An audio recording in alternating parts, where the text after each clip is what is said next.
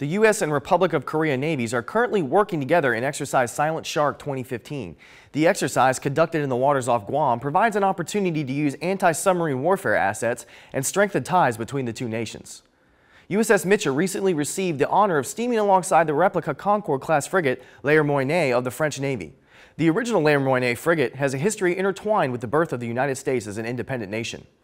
The Navy's Transition Assistance Program has received a makeover. Transition GPS, or Goals Plan Success, is the new comprehensive program with an updated curriculum that includes financial planning, understanding VA benefits, and workshops. And finally, the Space and Naval Warfare Systems Center Pacific is working to incorporate Hollywood movie technology into the fleet. Their Battle Space Exploration of Mixed Reality Lab is testing how virtual reality can transform sailors' jobs.